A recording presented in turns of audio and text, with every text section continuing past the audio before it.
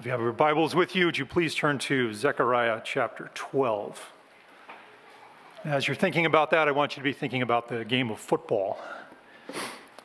Imagine you're on a football team and you have the best players, you have the best coach, you have the best equipment, you have the best owner, you have all the money you need, there's no salary cap, and you are undefeated and you are going to the Super Bowl.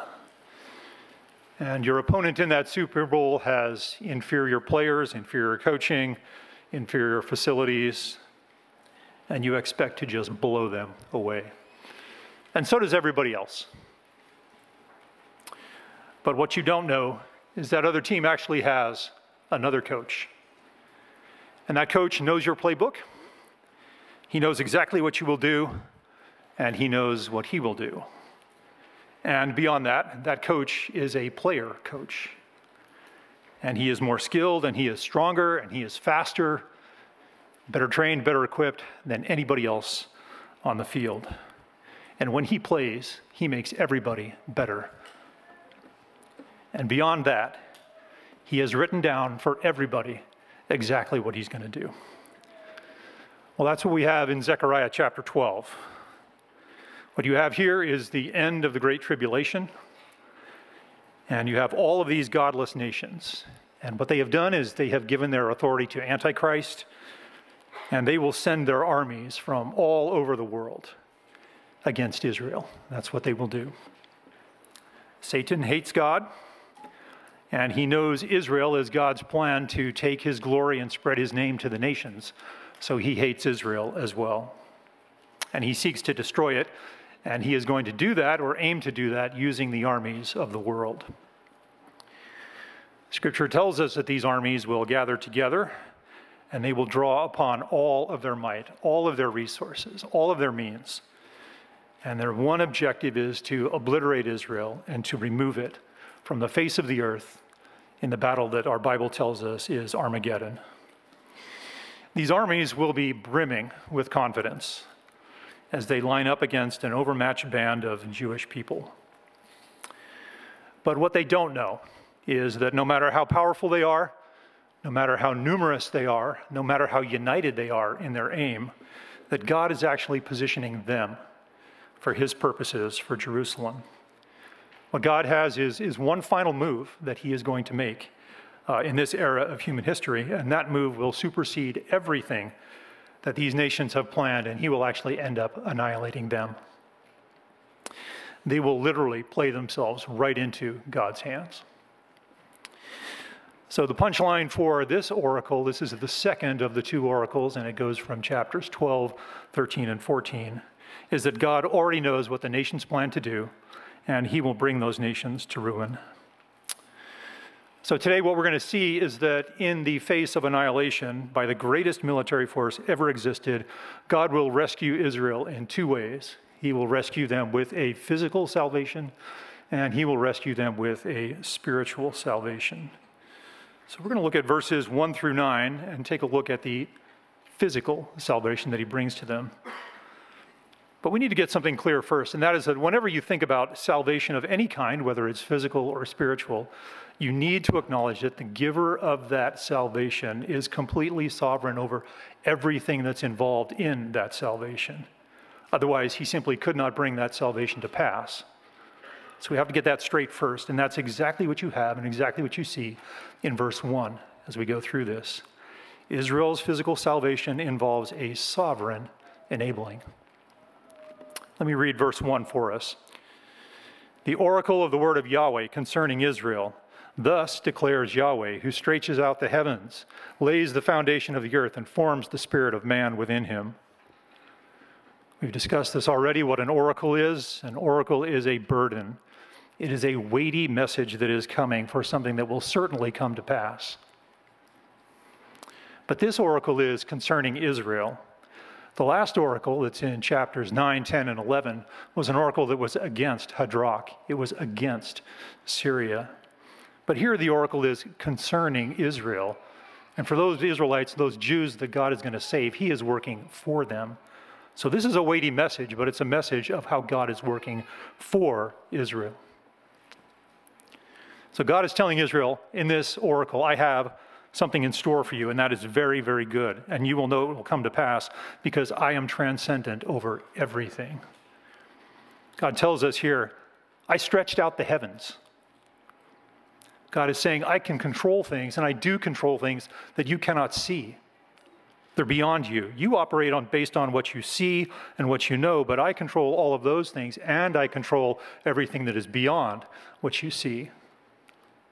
I can save you because I control the universe. Then God goes on to say, I laid the foundation of the earth.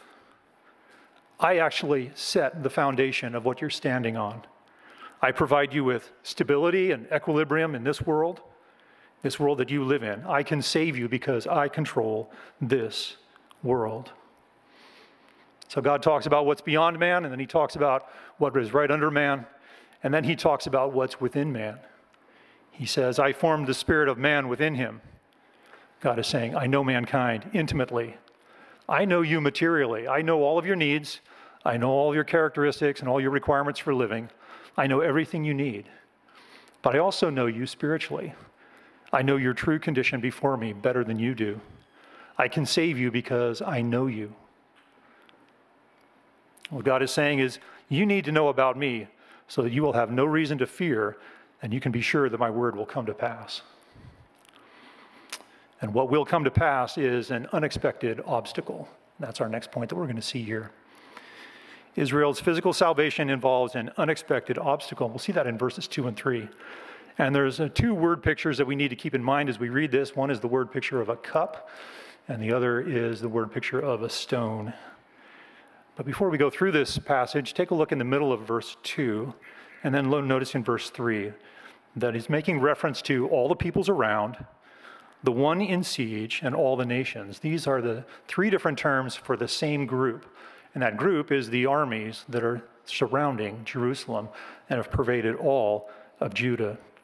So, this is a massive army that surrounded Jerusalem, and it is so numerous that its, its, its footprint extends not only around Jerusalem, but in all the areas of Judah. This is a truly enormous army. And God is speaking about this army. I want us to turn in our Bibles to Ezekiel chapter 38 and see exactly what God says about this army. Ezekiel 38, verse 16.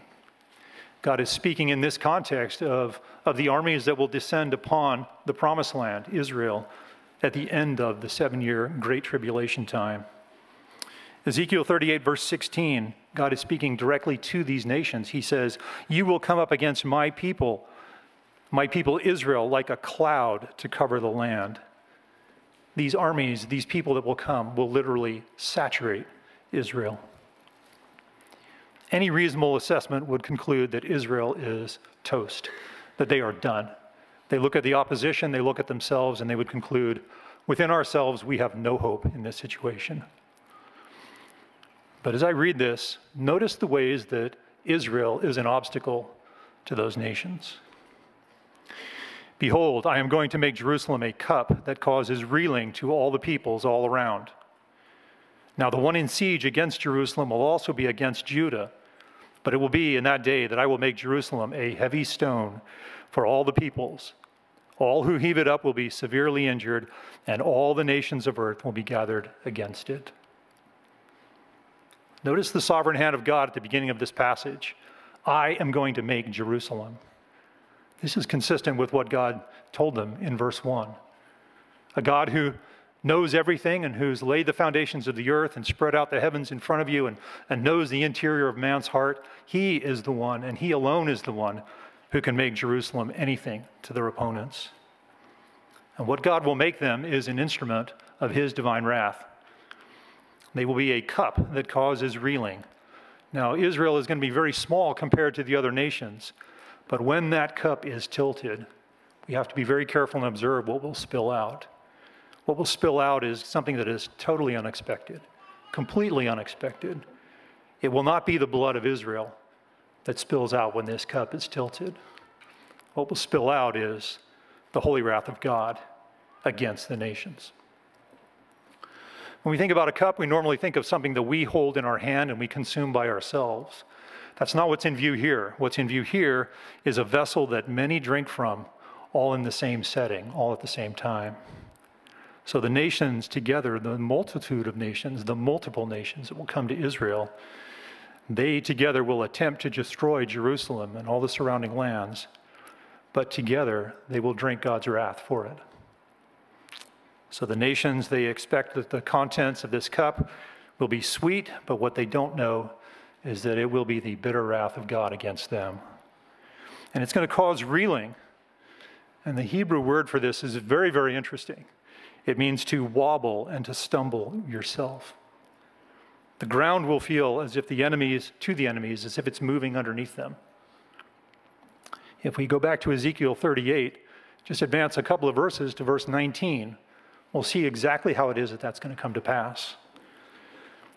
In verse 19, after God describes this nation, this nation that's going to descend upon Israel like a cloud, he says, In my zeal and in my blazing fury, I have spoken that on that day there will surely be a great earthquake in the land of Israel.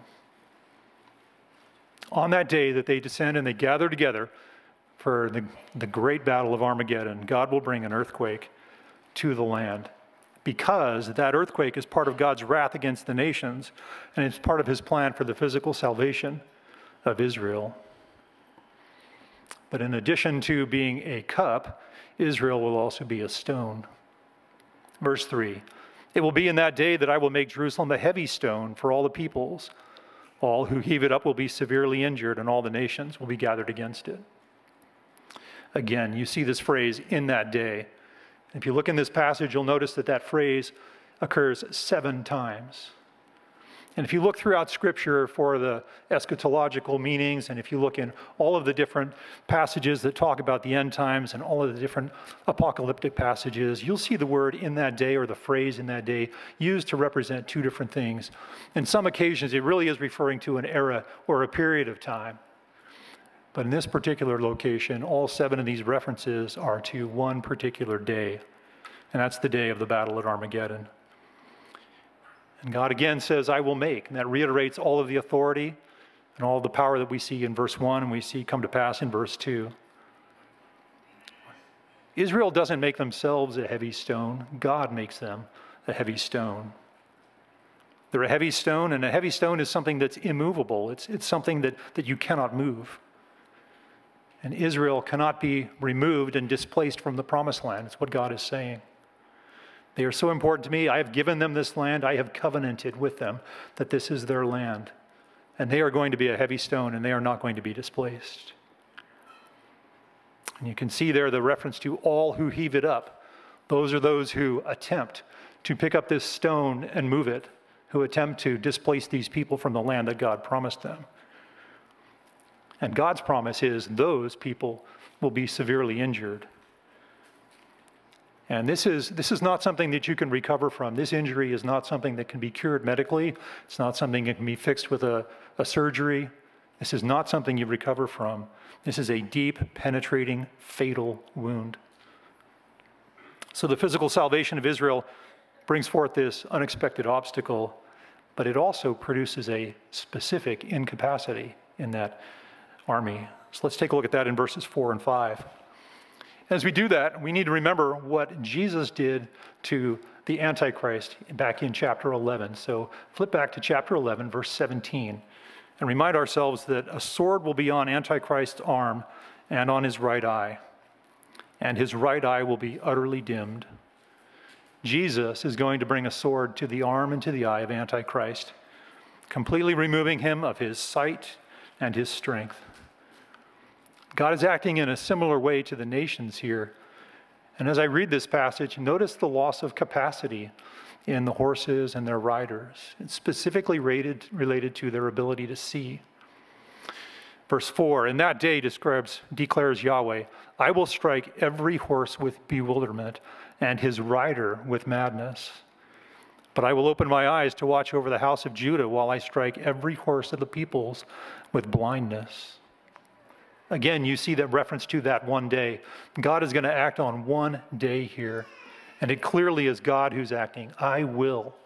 It's God who is doing this. What he's going to do is he's going to strike every horse with bewilderment. That horse that is a, a sign and a symbol of strength and power and advantage in military matters. God says, whatever advantage you think you contain and you think you possess through these horses, I am going to neutralize it. We see more about the horse at the end of the verse. Every horse of the peoples will be struck with blindness. You need eyesight to observe your enemy. If you don't have any eyesight, you really have no knowledge of what your enemy or your opponent is doing. Think back to the football field. What happens if your quarterback is blind, or your field goal kicker is blind, or your receiver is blind? Doesn't work out too well. God also strikes the rider of those horses with madness. So not only are the horses that the rider's on blind, but those that are riding on them are struck with madness. They're going to be acting irrationally and wildly, and it's going to result in utter chaos for them, just like on the football field. But the soldier is blind as well. And it's not stated here, it's, it's stated in chapter 14. So flip ahead a couple of chapters and go to verse 12. This again is another description of what is taking place in this same event, and we'll get there in a couple of weeks. This will be the plague which Yahweh will plague all the peoples, those are the nations that are around them, who have gone to war against Jerusalem. Their flesh will rot while they stand on their feet, and their eyes will rot in their sockets, and their tongue will rot in their mouth. There's a lot of rotting going on there, and much of it is in their eyes. They won't be able to see. So, just like their horses, they will be blind. Confusion and chaos will abound back to chapter 12, look at what God says about himself. He says, after all of these things, the horses are going to become blind, the riders are going to become blind. God says, I will open my eyes. God is telling Israel, I am fully cognizant about you and of you. I am very perceptive. The reason for that is because I am the defender of you as a people. I will watch over the house of Judah God will open his eyes in a new way. It's not as if God was blind throughout human history, but God is seeing Israel in a way that they need him to see them to rescue them. So the nations have arrayed themselves against Israel, and they are zealous and they are confident, but God has incapacitated them. Eric is going to be teaching us tonight from Psalm 2. I want us to turn to Psalm 2 and just take a look at verses 1 and 4 and see how it fits so well with this context. And again, I'm not going to steal Eric's thunder for tonight, but uh, the psalmist writes, Why are the nations in an uproar and the peoples devising a vain thing? In verse 4, He who sits in heaven laughs. God is saying to these armies, You may possess some strength, and I gave that to you, but I am the creator of the universe, and your striving against me is laughable. It is vanity to strive against the Lord, and woe to those who attempt to do so. Let's go back to Zechariah chapter 12. Let's look at verse 5. The clans of Judah will say in their hearts, A strong support for us are the inhabitants of Jerusalem through Yahweh of hosts, their God. When we read about the, the clans of Judah, we need to make sure we understand here that what is being described is not just the people who are in Jerusalem, but it's talking about the people of Judah, all the people of Judah, and all of them are involved in this battle. And they will say, notice that they will say, which means that they understand something. They're going to express something. And what they understand is that the inhabitants of Jerusalem are a strong support for them, but they are a strong support for them through Yahweh of hosts. This is the first time that Israel is beginning to understand something. They're beginning to realize that, that Messiah, Christ, is actually Yahweh of hosts, their personal deliverer. And the first ones to realize that are the ones who live out in the countryside, who live out throughout Judah. And they're going to say it in their hearts. They're not just noticing this with, with open perception, but they actually see it in their hearts, in the inner man. So, in addition to conquering Israel's enemies, God is also conquering Israel's hardness of heart right here in this verse. He's beginning that process. So, the physical salvation of Israel also produces a fiery defeat. After God gets done incapacitating the armies, then he torches them. And we're going to read about that in verse 6. In that day I will make the clans of Judah like a fiery laver among the pieces of wood, and a fiery torch among the sheaves. So they will consume on the right hand and on the left all the surrounding peoples, while Jerusalem will again be inhabited in its own place in Jerusalem. In that day I will make, same time frame, same sovereignty. God is telling Israel again and again, there is one day coming, and I am going to make this happen. God has just gotten done describing what he's going to do to those people. Here he describes how he's going to do it in another way. He speaks about the clans of Judah. God is using weak Judah to defeat these superpowers. We need to just let that sink in for a minute.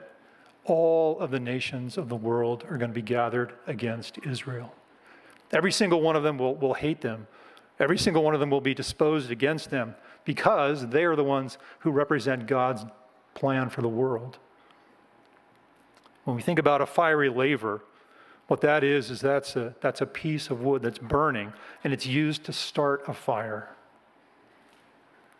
The wood is ignited by the laver, so in the way that, that a laver ignites wood around it, the people of Judah are going to be ones that ignite the armies around them. They're going to be burst into flames, figuratively speaking.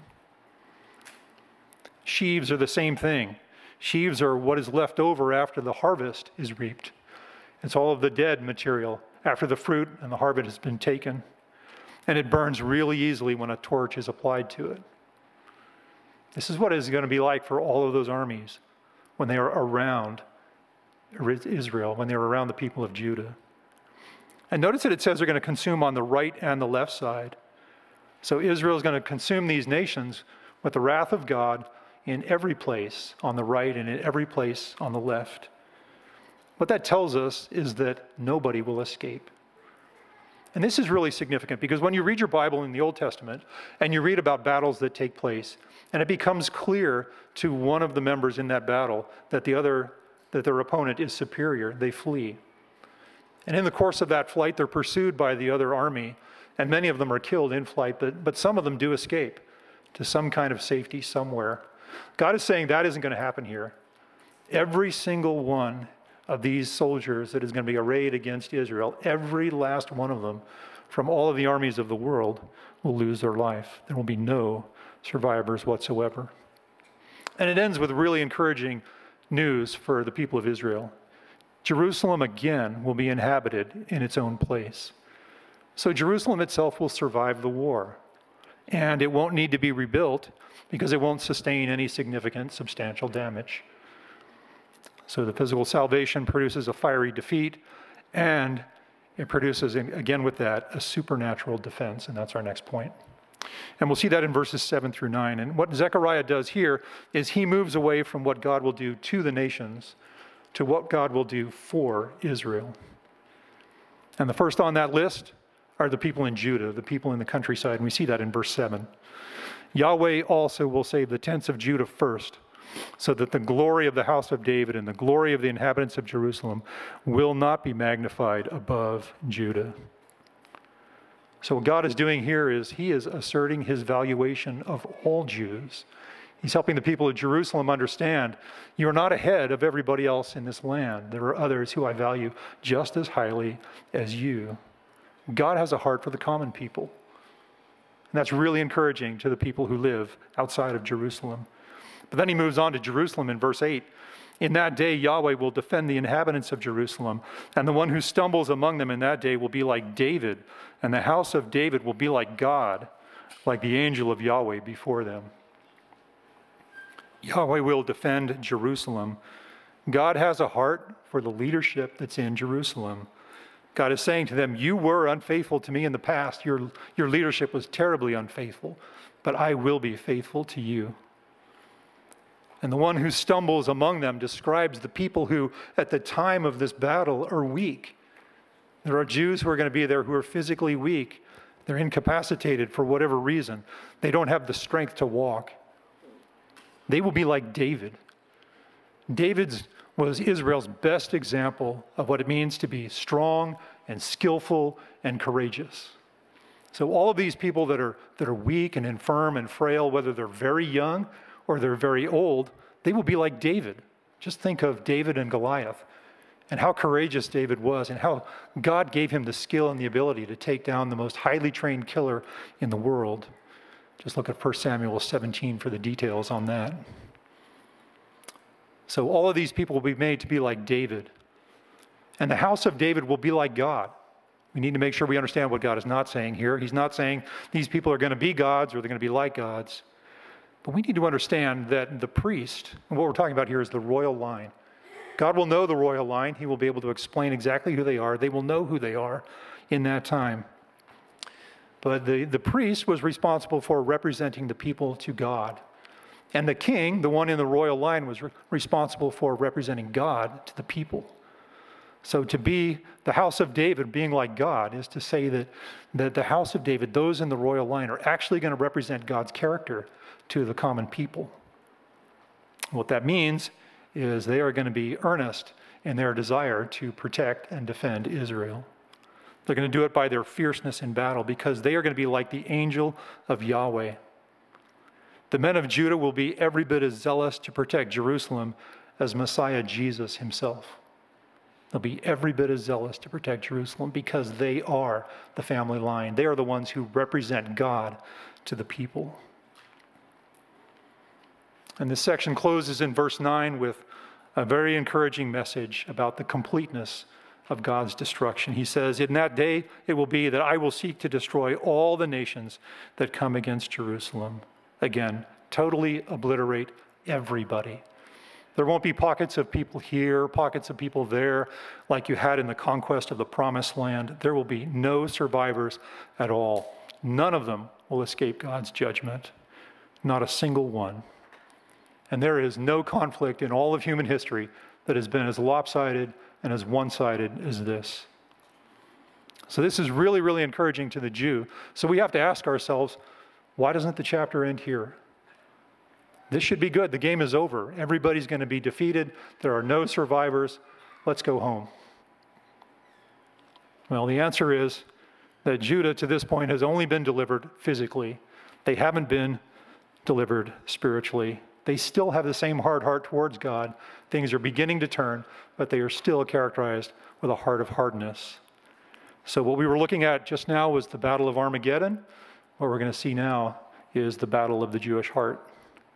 So, in the face of annihilation by the greatest military force ever assembled, God not only is going to provide a physical salvation, but He is going to bring a spiritual salvation to His people that is every bit and more important as the physical salvation. And that's what we see in verses 10 through 14. And what we're going to see here is that salvation has always been of God by grace. Salvation has always been of God by grace.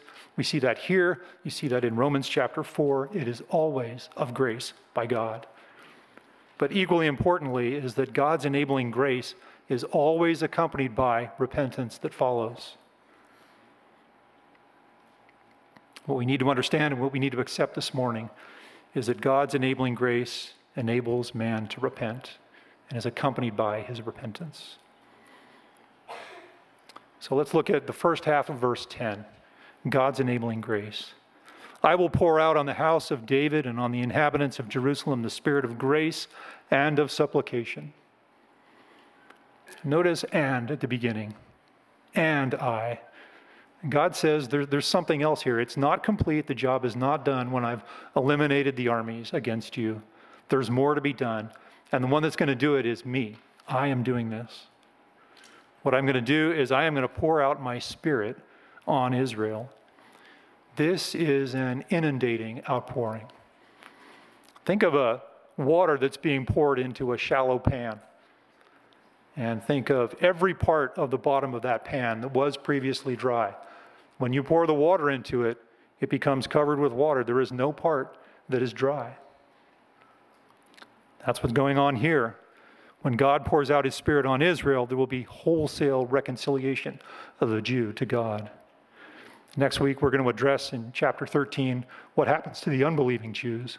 But for those Jews that believe, there is a wholesale reconciliation, and it's on the house of David and the inhabitants of Jerusalem.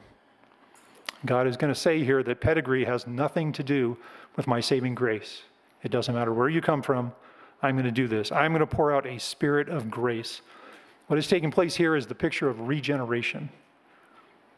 Grace in the Old Testament means exactly the same thing as it means in our New Testament. We're probably a little more familiar with, with its usage in the New Testament, but it means the exact same thing in the Old Testament. It is favor, it's God's unmerited favor. That's exactly what we have here. So if God pours it out, then God determines those on whom he will pour it out. And we'll see that again in chapter 13. But at this point, Israel is spiritually dead and they are unaware of their need for a salvation. They've just seen this massive victory and they're not really aware. But what we're going to see is that regeneration does something within the believer, it makes them want more of what they have. And so God pours out not only a spirit of grace to actually regenerate them, but He pours out upon them a spirit of supplication. So, whereas grace is a picture of regeneration, supplication is a picture of sanctification. After regeneration, the Jew is actually able to behold the truth.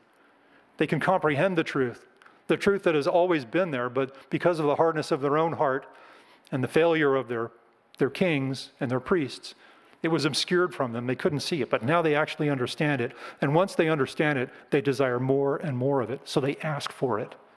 That's what supplication is, right? It's asking. They're asking for more and more. Give me more understanding of what you've already given to me. I want to know Messiah better than I do right now. Whereas in the past, Israel was running from the truth, now they're running to the truth and they want more of it. I think there's a good analogy here with a moth and a bat. If you think about a moth and you turn on a light at night outside, the moth is attracted to the light. They come to the light. That's the good part. Think about a bat. He avoids the light at all costs. He doesn't walk around, he doesn't fly around in the day.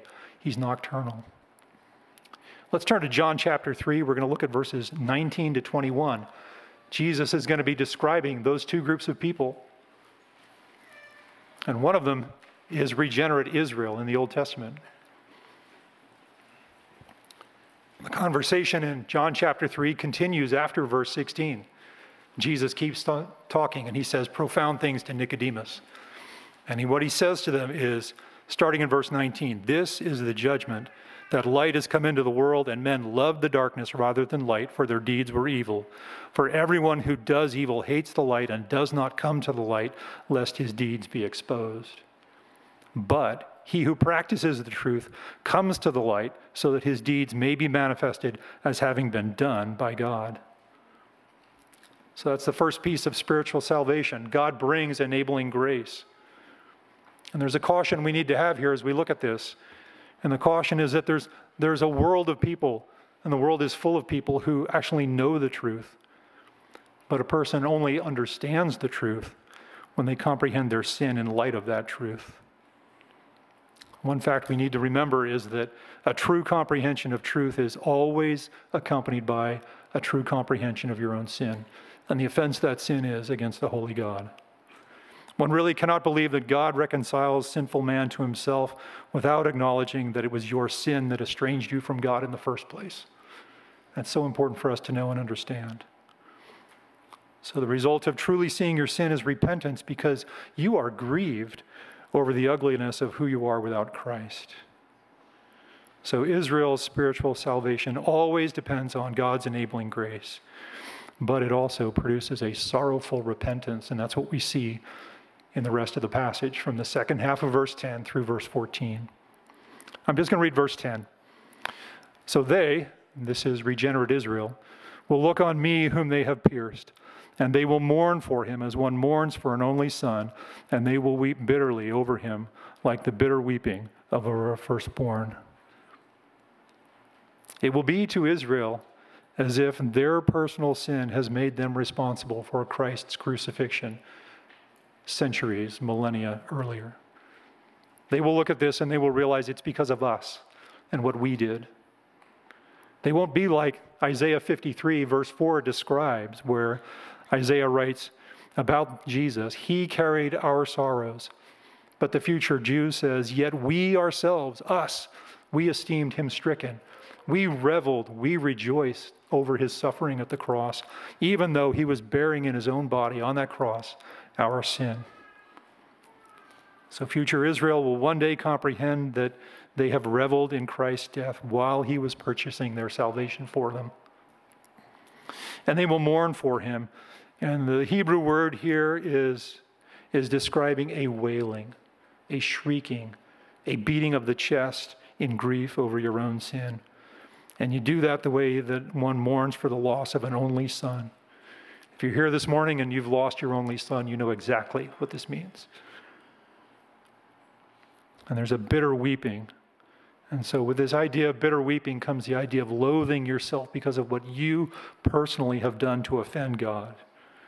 It's the same idea of, of godly sorrow that you see in 2 Corinthians chapter 7, verse 10 where it's godly sorrow that leads to repentance. That's the same thing. You're genuinely broken over who you are before God. I'm going to read verses 11 to 14 in, in one setting. And as I read this, notice a couple of different things. Notice all the different families or groups of people that are, that are mentioned. And then notice the word alone and how often the word alone is used.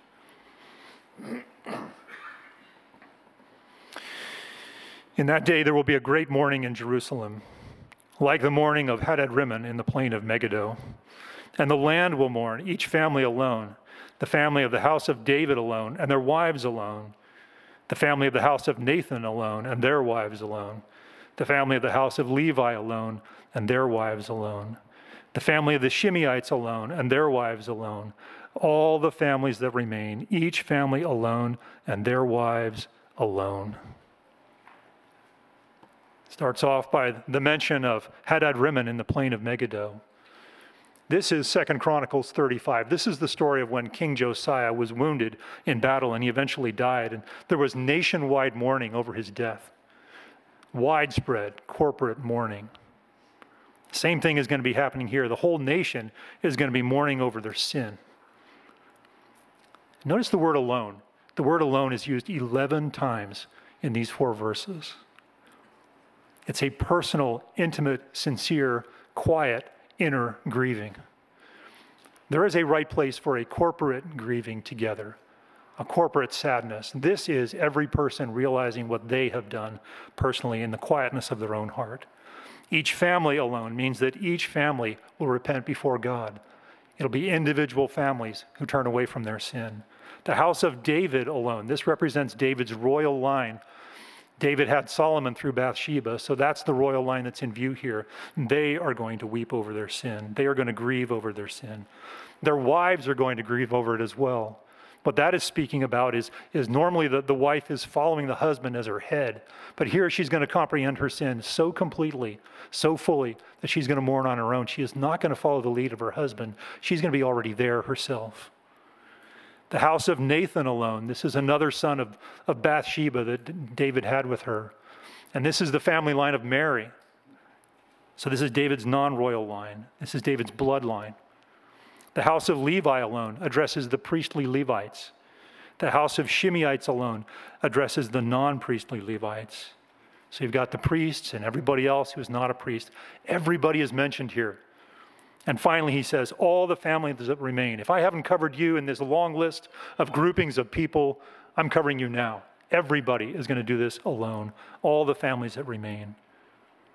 Every one of them will, will believe. So, this is really, really encouraging to the Jew. The Jew knows that God is going to save them physically and God is going to save them spiritually. He is going to extend His grace and they are going to repent from the heart. So that is good news. We have, we have two applications for ourselves this evening. No, let's not do that tonight. Let's do it now. we are, we are in the daytime here, so let's, let's live in the day. Okay, first application marvel at the severity and the kindness of God. You read this chapter, you cannot help but marvel at God's severity. Look at what he is going to do against every single member of the army that is gathered against Israel. Ezekiel tells us that Israel will spend seven months cleaning up the mess after this is over. So marvel at that, but also marvel at the kindness of God.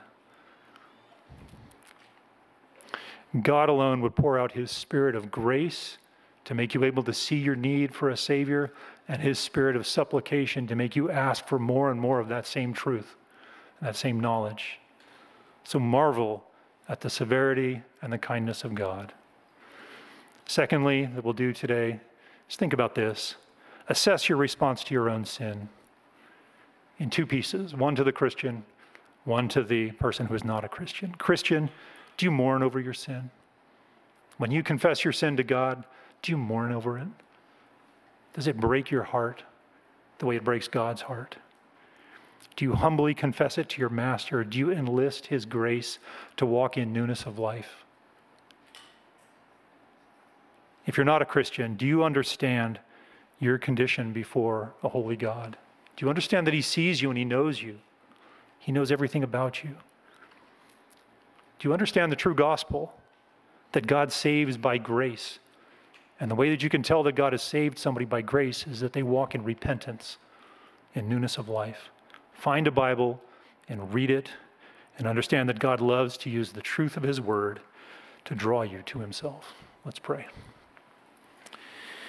Father in heaven, I, I praise you for this story. I praise you for this chapter that you have told us and you have shown us that you and you alone are the one who saves. Lord, there is no one in this world who has any power against you. There is no one who can stand against you. You know all things. I pray for us. Lord, I pray that we would grow in our awareness of our sin, we would grow in our brokenness over our sin, and we would earnestly seek to enlist your grace to walk in newness of life. And I pray it in Christ's name. Amen.